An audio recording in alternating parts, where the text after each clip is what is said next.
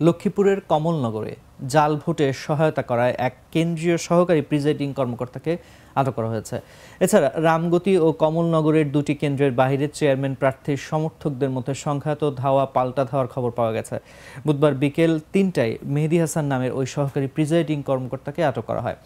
জানা যায়, কমলনগরের চর জাঙ্গালিয়া হাজিপাড়া সরকারি প্রাথমিক বিদ্যালয় কেন্দ্রের সহকারী প্রিজাইডিং কর্মকর্তা মেহেদি হাসানকে বিকেলে জাল ভোটে সহায়তা করার অভিযোগে তাকে আটক করা হয়। তিনি কমলনগর উপজেলা উপসহকারী কৃষি কর্মকর্তা। এদিকে বুধবার দুপুরে রামগতি উপজেলার চরগাজী ইউনিয়নের মধ্যচর আফজল সরকারি প্রাথমিক বিদ্যালয় কেন্দ্রের সামনে দুই চেয়ারম্যান প্রার্থীর সমর্থকদের মধ্যে সংঘর্ষের ঘটনা ঘটেছে। এতে উভয় পক্ষের আটজন আহত হন। কাপ্পিরিচের প্রার্থী শরাফুদ্দিন আজাদ ও দোয়াত কলমের প্রার্থী আব্দুল ওয়াহেদের সমর্থকদের মধ্যে এই সংঘর্ষের ঘটনা ঘটে।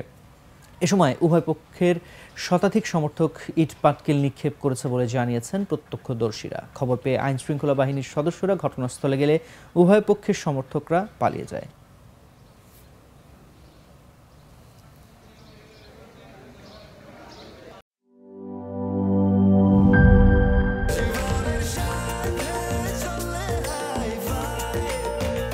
স্বাস্থ্যকর অল টাইম ফ্যামিলি কেক সব সময় অল টাইম হেলদি লাইফ